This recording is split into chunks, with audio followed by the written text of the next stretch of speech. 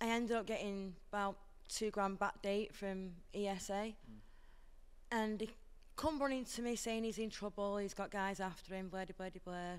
Took like this two grand off me to go and pay these guys off. It was all a blag, he just basically robbed me while I was already on my ass and homeless. I was about to use that money for a deposit. What a life journey I've been through, the less you experience it, you ain't gonna clue. Believe me when I tell you it's not for the faint hearted. Not a surprise, a lot of my friends a long time ago. So you're doing what? Right, so, Mike's good, yeah? Happy with the mics and that? yeah. Just what I don't feel Um, started writing a song last night. Yeah. Um, called "The Imposter in Me." Um, started writing a little chorus of it, which is "Now you got it wrong, I'm Lucy Lawless. Check it, I'm flawless." So right now you see, I'm a lion that's rawless. Nice. See what you did there. I like that rawness. So what? Where did the um, so the anxiety? Yeah, that's what it's about. So that, that the- lion that's rawless is my anxiety Okay. because me Right, persona of Lucy Lawless has took over.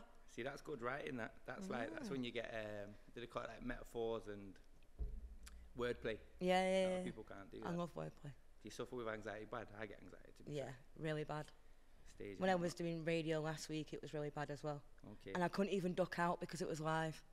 I had to sit it through, which was worse. you know what I mean? because I was like, I want to go out the room, I want to go out the room. it's not like this, is it? Where you think we can edit bits out on the radio. I've been on the radio myself, and I remember the first time I went on, and I thought, it's like, right, you're going on in three, two, one. It's like, right, guys, we've got Samsy on the show. It's like, how you doing, Sam's? Um, I'm, I'm all right, mate. How are you? it's, it's, it's, it's horrible, isn't it? it is. It's a horrible thing. So with the music, what got you into it? Because you talk a lot about like your life and your experiences, obviously, because you send me a lot of voice notes and spoken word. So take us back. Where did it come from? What it on? Um, first of all, I liked doing poetry when I was back in high school and that. And then dropped off from that. And then when, when I became homeless, I started writing poetry again as a way to get me feelings out rather than walk around a little tiny angry person. Oh, that's fair. So um, from there, this year I decided to take it a step further and do my music production course Yeah. and start producing my own tracks and putting my lyrics on them. And you use going back like them hard times being. and that's what I'm using my lyrics from all my hard times and like basically my life journey. So my mm. first EP is going to be about my life journey. All right, that's that's interesting. So my second one's going to be it. specifically about homelessness, Yeah. and my third one's going to be about like foster care. Okay. So I want to get those subjects out there because they're never talked about in the industry whatsoever. No, yeah, I get you. So it's gonna be two projects, one on homelessness, one on foster care. So with the homelessness, like, how old was you when you first like experienced that, Um, age 30, um, fleeing domestic violence. fleeing domestic violence? So um, while my kid's dad was in prison, I've been with him 15 years. Okay. Uh, took the opportunity to just basically pack my bags and go before he came out of prison. Hmm. Where did you Um, it's a pretty hard decision to do, but it took me seven years to get through the system as well. But so it's not like, it. yeah, I've got through it, but it's not like when uh, city council turn around and say to you, right, well, you're going to be, going to be in hostel hostel system within about three months, and then six months, eight months. Before you know it, you're, you're, just, you're just trapped in the system. Yeah, it's hard to break it in it once you're in it. It's like you're there to stay. Yeah. And obviously, again, like say, anxiety, all of these other mental health issues. Can't be like you can't wake up in a great mood. Like, do you know what I mean? Especially is not, but not in a hostel when you've got another 31 women and you've got about 16 of them are alcoholics, 10 of them are drug addicts, and three of them are nutcases. You know what I mean? so it's 32 women in a hostel, and I didn't want to, want to know 31 of them, Yeah. which is why I started writing my lyrics and just keeping myself to myself in my room. It's mad as well because with hostels, I feel like I also chatting to someone a bit back, a homeless guy, funny enough, and what he said to me was, I seen him, I was working away, and I seen this fella sat outside McDonald's, and he, he, he, he looked pretty well dressed and whatnot, and he sat there, and he's, he had an iPhone and whatnot. I said, why, why you sat here, mate? And he was like, reason, he said he's homeless, but the reason he's homeless, he chose to be, what he told me was, um, he got into drugs um, started doing whatever to fund his habits. But beforehand, sorry, beforehand he was quite successful. He worked and whatnot, but he got into drugs. Start, lost his job, started taking drugs, uh, stealing to you know to feed his habits. Went to jail, and when he got out, he, so he's got clear in jail, and when he's got out, they've put him in a hostel amongst loads of drug addicts, loads of ex-offenders. A lot of them are, you know, getting back into drugs, reoccurring offenders. You know, they go, it's just a back. It's that cycle, isn't it? And Bad he said, cycle, yeah. I'm actually clean, and he said the amount of people that was still on drugs in there, the, the, it's a losing battle. He said because just because I'm off them, that's always on my mind. It's like a battle every day. I want to take them, of course I do. I have good days and bad days. So he said, so my thing is, I'd rather be homeless and know that I've got less chance of going back on drugs than be in that hostel and then and then basically just mess up his life. And I thought that was kind of Yeah, that it's, is it's, very it's, deep. It's deep, innit? Yeah, it's it's like very wow. deep. And then he, he went on to talk about the system and whatnot.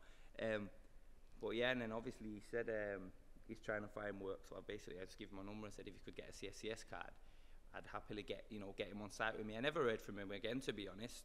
I don't know what happened to the lad, but hopefully, you know, he Well, got- for got me, when- things. for me, when I was going through a system and that, um, fled um, domestic violence, went homeless, went into homelessness with just anxiety and depression, and came out with PTSD because I've seen three people die in front of me. Oh really? Uh-huh. Two Oh, of them committed suicide, Okay. and one of them was murdered in the night. murdered in the night. Murdered in the night by a heroin addict. this is what I mean. It's just crazy in them places, isn't it? And it's it's like I feel like things that happen in jail, but in jail there's um people are up to what they're up to. It's the same environment. An hostel, a lot of the hostels is ex-offenders, so you've got the same batch of people from the prison now in an hostel. But the difference with an hostel, there's no one there to keep their eye on anyone. They're just sort of in there waiting to go into you know, get a job or whatnot. And get The only thing you house, would but get is like a curfew. You've got to be in by one, or you lose your hostel placement. So the way I view it is like cat DJ, cat DJL. Yeah, it is. It's literally It's literally like that. a cat DJL. I've been in one myself when I when I went to prison years ago. I come in a in a hostel when I got out. I hated it in there. Hated it. It was. It's just- not a nice place. It was dirty. It was, you know what I mean. Like it was. It just wasn't a nice place. That's it was cleaner and nicer in jail, if I'm being honest. I didn't really didn't want to be in there. Do you know what I mean? And it's like you come home to go back to jail. It's like I'm here now. Yeah, So, true. But uh, that's why, like, when I met you guys, when I was in the hostel system, and I was coming to music video shoots and coming to, remember when we were doing the Facebook lives? Yeah, they were great. Yeah, um, weren't they? Sparks 303 did we call it Yeah, in memory of our friend man Sparks. Rest in peace, Sparks. Great guy, great DJ. That's when we first started meeting. That's when we first started meeting up Yeah. and everything, yeah. But um, my excuse for that was it was basically just getting me out of the hostel for as long as I possibly could. Yeah. So I was just basically going there to sleep, and then I was back out again for being, you know, chilling with you guys, doing flipping Facebook lives and whatnot. But you with enjoyed flipping Macca yourself. lock up, and So like you said, Sparks, rest in peace.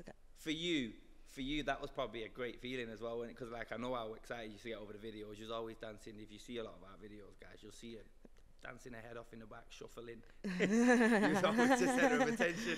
You can't stop you me. I just somehow Loose. end up in the background Yeah. of the video, We need you in the even when I'm not supposed to be there. well, that's a good thing. Like at that time, it's probably nice to have like. Because did you have like many friends and that in and out of hostel? Because you must lose a lot of contact with a lot of people along the way as well over the years, moving around. when I went homeless, I literally cut everyone off from the area I went homeless from, which is Wythenshawe, and started afresh. But then when um, I come out of homelessness, um, about 80% of the people I knew are cut out because they were still in the hostel system. And I've seen so many people that have come out the hostel system, got their own gaff, invited loads of people around from the hostel system as well parties. Six months later, they're back in the hostel system Mm. because they've been evicted. And I'm like, "Ah, I'm not going to play that game. So going back to the anxiety, obviously, because there's a lot of anxiety around this hostile environment and whatnot, as we can tell, as you've been saying. Like, what was your first experience of anxiety? Like, can, can you can you, do you remember? Um, as a kid, um, I used to be a championship dancer. Oh, Um, that says a lot. That makes sense. um, in my younger years, so from about age four to about age 13, Really? 14. That's something I never knew about you. Ah, you learn something new every day, so now you know why I can dance so well. Yeah, you can dance. Um, But um, yeah, so when before going on to arenas or stage areas, I started getting nervous and started throwing up and everything. Oh, really? So that was my So it's first that deep? experience. So I've got a lot better with anxiety over the years Mm. because back then I was literally throwing up before going on stage, throwing up coming up, coming off the stage as well. No. I've bit through my tongue during a performance, and I've got like a slice of my tongue now. Wow. So like that's it's mad because you saying that, like a lot of people suffer with anxiety. We all do. I get it from time to time. Time to time. I've told you I hate being on stage. I've got it now. You've probably got it now. Not as much because it's just us two, but social anxiety, I think they call it. Get around crowds. But what I'm getting at is that there, what you've just said. It so anxiety could literally It halt so many people in progression. Like someone could have a great talent. Like you look, you, you in, from an early age used to say you couldn't have gone on to like great things with your dancing, but having that level of anxiety, it would literally could halt someone's career. It could stop them doing what they want to do. It could. Do you know what I'm saying? A lot of people have got so many talents. That's the older I got in my teens, Yeah. the more the, like, the anxiety was getting worse, and that then it did. It stopped me from. So it's Progressing. just halted you and you. Pro- it's sad, really, isn't it?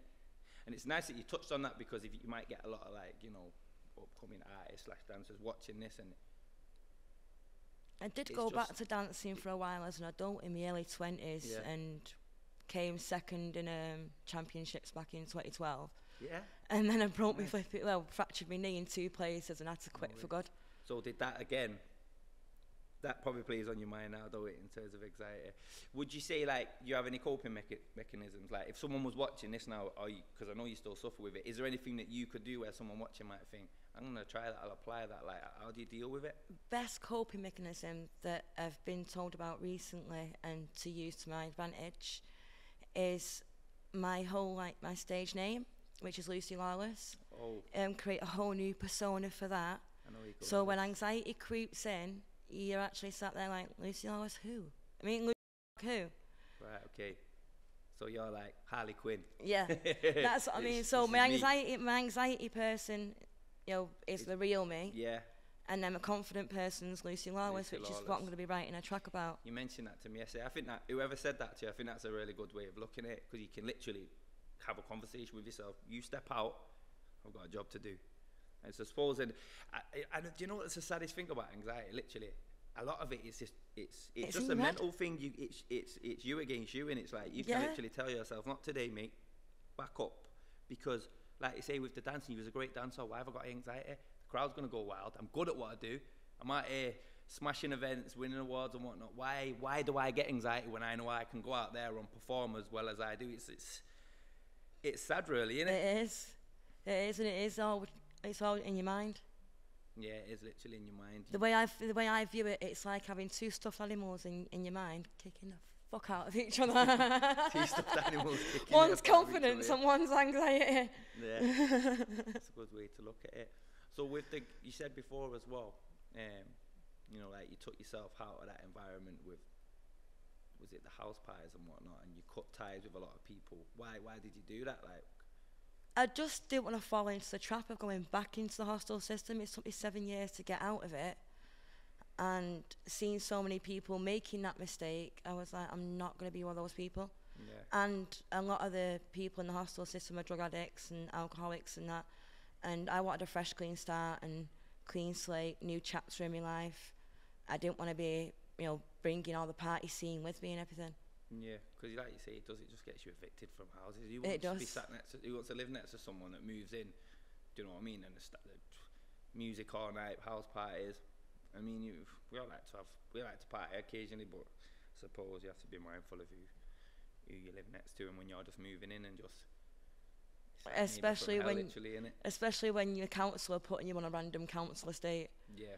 I mean, no, no one on council estates tolerates that shit these days. Oh yeah, yeah. It's not like council estates in the movies back in the day where they're, it's like that's a council estate, a house party. It's a great vibe. Yeah, it's not. It's not. No, it's not like that no more. So um, you said earlier as well, off camera, um, you've got you've got kids. Yep. You don't mention them much. Uh, I've got three, three girls. Three girls. I've seen, 17, 18 and 22. I've seen one of them on your Facebook, and she looks a double of you. she wears glasses. I knew straight away in the picture. You must have put a picture of her. That's that's a daughter.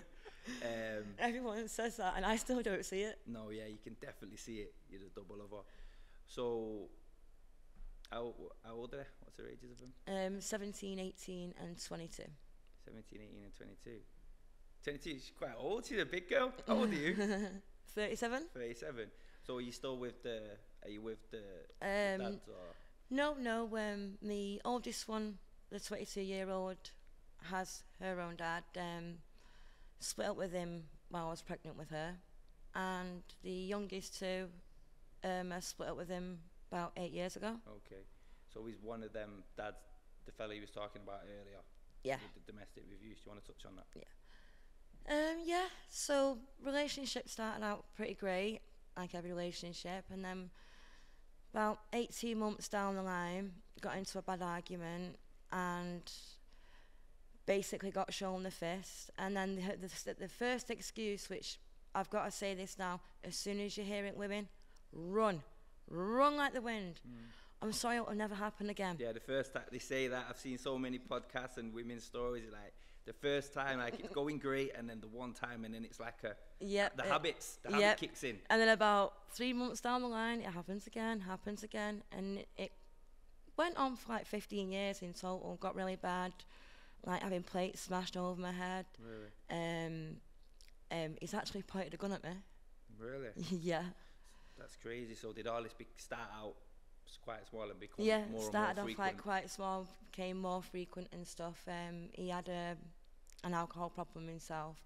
When he went to prison, he ended up getting clean, and now he's got his like own house and own car and everything. So he kept to his promises from when we were younger. But I decided to walk away because I didn't want to take his word for it in case when he come out of prison, he was still the same guy. and it's probably easier to walk away when he gets taken away because you've got sort of time to sort of reflect, make your choices. Because a lot of women, I think, I can't speak for them because obviously I'm I'm a, I'm a male, um, as you can see, guys.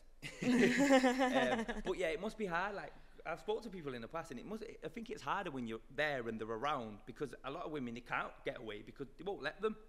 Exactly. Do you know what I mean? So when he gets taken away, you can sort of like, right, now's the time to get over him and move forward. But again, it's just because somebody beats the shit out of you. A lot of women are attached. They still love Yeah. them, which is mad. It's like some emotional attachment. But that's what I mean. The advantage in being sad. taken to jail made that bond break. Yeah, and you and sort of, my, when I went homeless, um, I decided to put my children with his mum rather than put them through a system with me. no, that was a bold choice. I'd, I'd, I'd agree with that. I ended up losing like all the high school years. Literally, I put my kids with his mum like when they were 10, 11. And then now, the youngest one's now 17. So I missed everything through high school because I was homeless. Mm. Um, do you think having kids with him sort of gives you more courage to say this? I need to leave. Yeah. Did it make it easier? Do you think if you didn't have kids with him, you might have stayed a lot longer than you did? Do you think he could have blagged you like a lot of guys do in jail when they get home, babes? It's gonna Mm, be yeah, different. it was more be because I had the kids was the reason why I stayed so long. Was Mm. I was di- desperate to try and make things work. Yeah. Oh, yeah, 'cause and you want the keep it- family vibe. keep- you want them to keep have a dad, yeah. which a lot of people do, which is a fair point. But it, would they witnessing this? They were witnessing it. Um, I, they're aware of like what went on back then. M- me and my daughters have spoke about it and stuff. Um, so with that, like, how is the relationship now with you and your children? With my oldest child, who's 22, um, I had her adopted at a young age. But with the two, with the father that we're speaking of, um, I have a great relationship with my youngest one. And my middle child still sort of blames me for a lot of what went wrong between me and, me and her dad. Okay. But it was my oldest one that actually witnessed quite a lot more than the youngest one did, Mm. despite them only being 11 months age difference. Okay. So so the so you do, so she does sort of feel like she has a, some form of resentment towards. Did you think? A little bit, but what I don't get is like my youngest one's more understanding. Um, she's like, I know what you went through. I know what you know, Dad went through. You both were as bad as each other. Because I'm that kind of person who doesn't give up on an argument. Ah right. I have to have the last word all the time, and that was what cost me a lot of the dom- like going into domestic It's a, violence. it's, it's a poor though, innit, situations. to put your hands on someone because it's like that's you see that in the movies. That's sort of the things they put in the movies. It'll be an argument, and then a guy hitting a girl, and they're still going at it, and then it's just Uh, th- yeah, that's the go-to thing exactly. if they put it on the TV that the women can't keep keep them mouth Mouth shut. exactly. But so a he, had me thinking that for years that it was always because it was my fault because I always had the last word. it took me a few years to realise, like, hang on a minute, you shouldn't have put my hands on me point blank. Why do you feel like you always had to have the last word? Where do you think that come from? One, I'm quite an argumentative person in general, but more so because I knew in most cases in the argument that I was right in what I was saying. And Yeah. most of it was like to do with his behaviour and not being around for the kids and stuff like that. Or just disappearing for a full weekend. Yeah. So we were sort of like, it's mad then. So really, you're raising good points, and his way of dealing with it was just basically shut your mouth, get a hand. Basically, that was his. That was his way of dealing. with it. Pretty much. he didn't want to hear it. he didn't want to wear it. And there was more things um, like in the controlling sense of I still don't wear makeup to this day um, because of the slurs that I used to hear from him when I was younger. Um, he would literally point out girls in the street like who were pushing little kids in prams, like look at with all that makeup on, looking like a slag trying to attract the next man. Ah, really? So it would basically take me aback and make me think, well, all right, well, I'll stop wearing makeup. He'd say the same thing about wearing short skirts. I still, uh, still to this day, I find it hard to wear short skirts. Hmm. All because I still hear the mental slurs in the back of my mind. So, So there's a lot of lasting damage from a domestic relationship. so that's where, the, like you say, the PTSD kicks in. It sounds like a lot. It sounds a lot like he had a lot of his own issues, and he was. It's it's it's an own thing, is it? A lot of people they have issues and they project them onto. A lot of people say it's, it's usually the loved ones around him because he, he probably did love you, didn't he? Um, but he's got he's got you know. He's, you think he was a bit insecure maybe, or up to no good himself? He was up to no good a few times that I found out about. Uh, he was in denial over. But he admitted one of them eventually. Um, and more so, it's sort of like, do you like when behaviour gets passed down? Mm, yeah. Um, his mum and dad used to be like that. Right. When. I very, very first like met them, they used to be like always arguing. His dad never put his hands on his mum though. Okay. But obviously, I know that that's where the behaviour's been picked up Yeah. from because he's been raised in that environment. Right. Okay. Like it doesn't excuse it, but, But like, you can there's see a- where there's a pattern there. It's been taught. He's seen it from young, and it's kind of it's like a knock on. It's so really, that's what I mean. So he's like, okay, so that's the way you treat a woman in a relationship. Yeah, because That's what he's led by that's example. How he's wired up. He's seen that. That's how it goes. Right. Okay. Them earrings are hard, by the way. I They're, um, know. cassette tapes. So with the homelessness, um, before we actually sat down to have this interview, you mentioned um, a fella called Phil. yeah. I mean, it's quite comical. Shouldn't laugh, but you was laughing, which made me. I feel like I should touch on it. Yeah, so um, while I was homeless, um, got into, I call it a situationship, so to speak. And um, I ended up getting about two grand back date from ESA. And he come running to me saying he's in trouble, he's got guys after him, blah, blah, blah, blah. Took like this two grand off me to go and pay these guys off. It was all a blag. He just basically robbed me while I was already on my ass and homeless. I was about to use that money for a deposit on my own Really? flat. And um, about six months after this, um, we split up. And then I heard down the grapevines that he died of cancer, which he did have bowel cancer. He was cleared of it, and then all of a sudden, apparently, he's died of it. Um, and then skipped to about six months after that. Bizarrely, my not so dead ex was sat in a car as I'm walking down the street with my daughter, um, Hannah. Then my daughter's had to come and collect me from outside the car because I was just dumbstruck at what I've just seen. And then a few weeks after that, it was like Karma had uh, already took care of business for me, so to speak.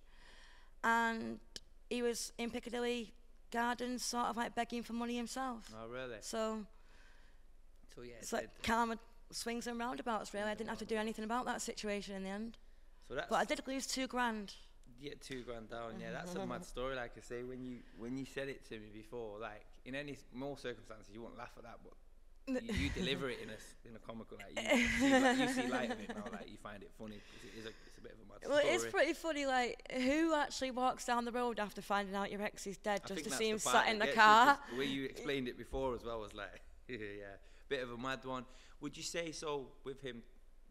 You know, the two grand did that.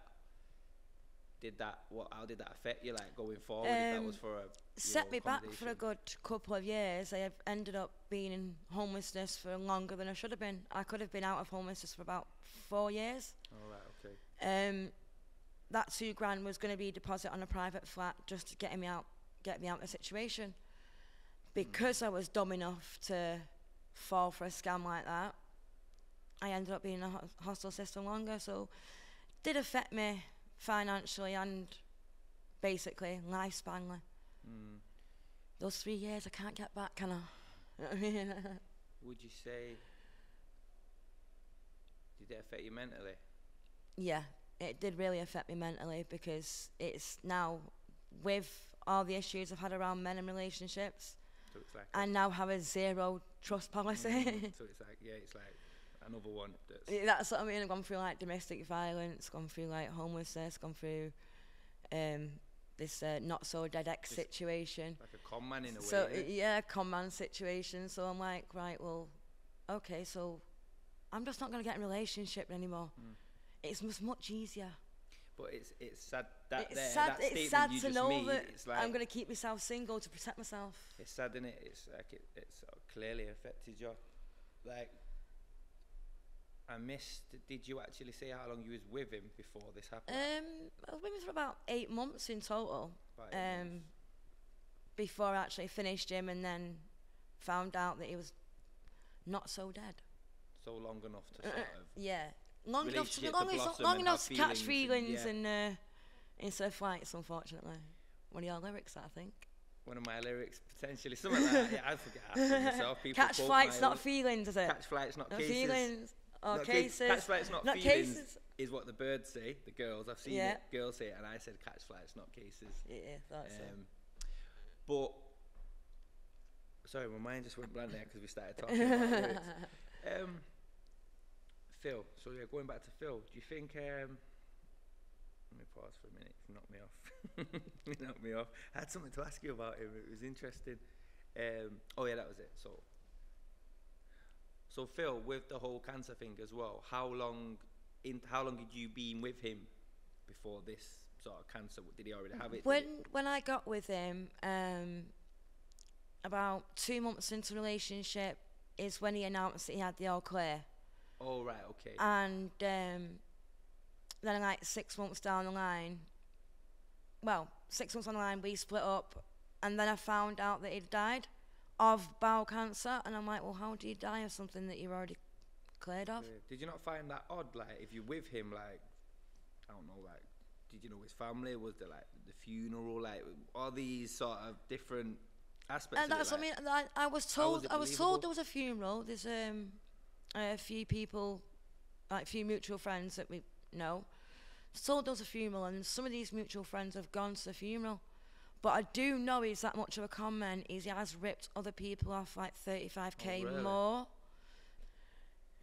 So basically, um, a few years back, he had a joint enterprise with a few of his friends, which was a joint lounge cafe in Manchester. Which I was a part of that, that as well. And um, he ripped them off for about 35k. Took my 2k. It was only when I spoke out about my 2k. These guys had gone home and done a little mass homework and come back and found out they were Ah, so 35k down. Red flags. Let's check, out, Yeah. let's check the books. So we had a few people over. so it so it was it was actually in party pad when it all comes to head actually um another little funny side story um when i told all my friends and his friends what exactly what had gone on he's rolled up to come and work at party pad one day at the joint lounge we basically took all his merchandise off him um named him and shamed him for what he's done to me taking money off someone that's already vulnerable and homeless Yeah. then named him and shamed him because we've already found out that he's took 35k plus from the business as well.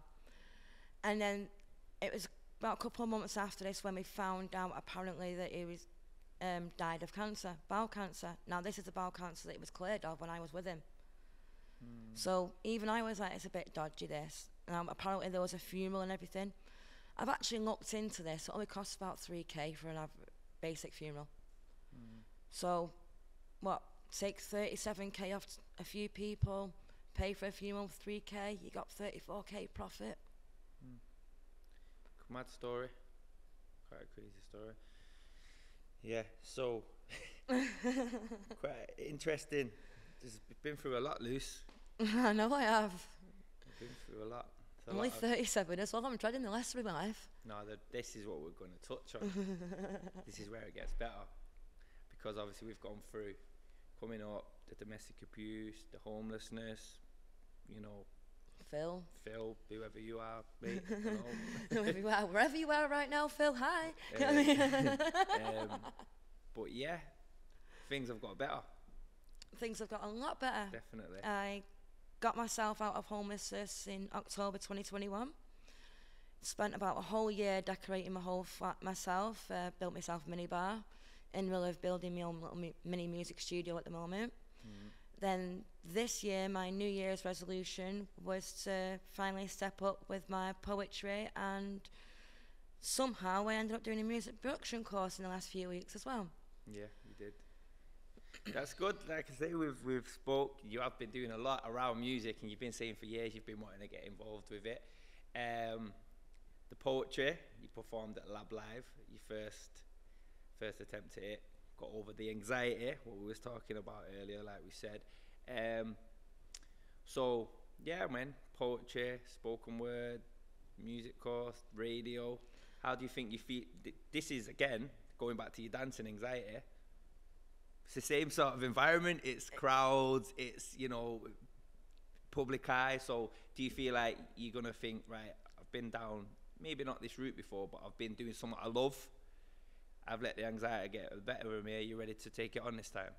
That's you exactly what Lawless. that's exactly what I am doing. I am taking it on this time, and that's why I'm creating this whole new persona.